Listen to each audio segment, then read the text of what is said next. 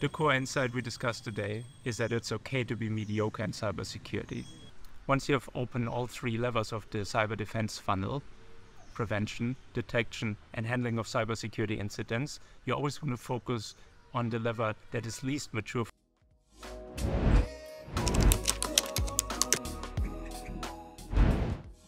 Hi, this is Karsten from Hacking Matters, where each week we discuss the opportunities embedded in cybersecurity.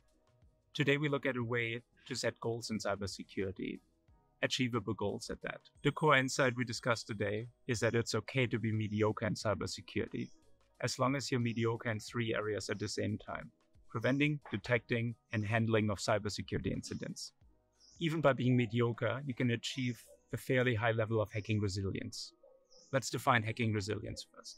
Different threat actors will use different methods, so there's always a spectrum of expected and unexpected hacking vectors, and you'll never be able to prevent all of them.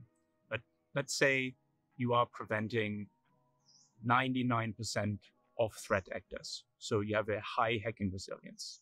How do you achieve this high level of hacking resilience, of 99% hacking resilience? You have to prevent 90% of threat actors from breaking in. And of those who do break in, you have to detect 90% as well a lot easier than the 99% we looked at before. Once you have opened all three levels of the cyber defense funnel, prevention, detection, and handling of cybersecurity incidents, you always want to focus on the lever that is least mature for your organization. Because of diminishing returns, you'll be able to make the most gains in the least mature level.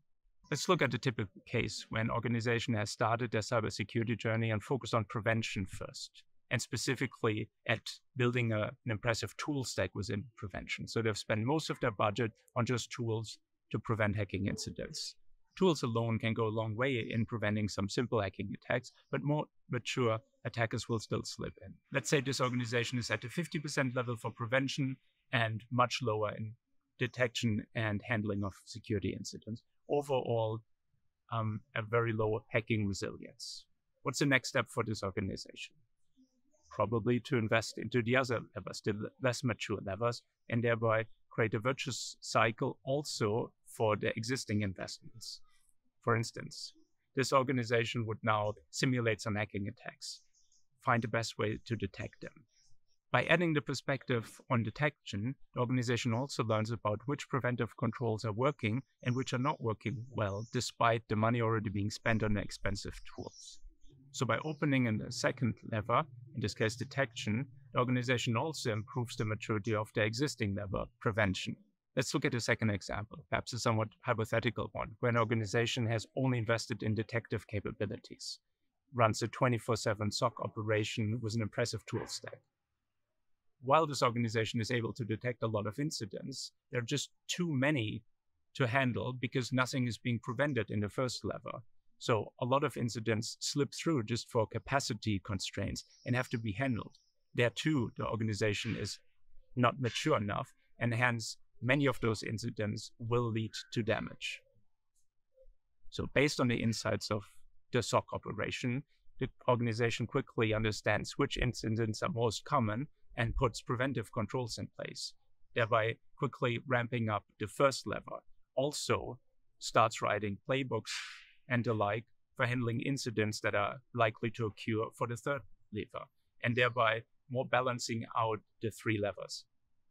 Chances are that this hypothetical organization will give up its 24 7 SOC operation because most incidents take hours to handle anyway, so you might just as well start during business hours until the other levers are equally mature, and then you can look at some more advanced stages like a 24 7 operation in summary, you can reach a high level of hacking resilience by being mediocre in three areas preventing, detecting, and handling of security incidents. And becoming mediocre is much easier, of course, than becoming very good in any one of these areas. So everybody should be able to reach that mediocre level of maturity. If you find this discussion interesting, you might also want to look at our other videos on which tools you should leverage how a SOC operations gets off the ground the best and best practices in incident handling. Any feedback and comments uh, are appreciated. And until next time, happy hacking.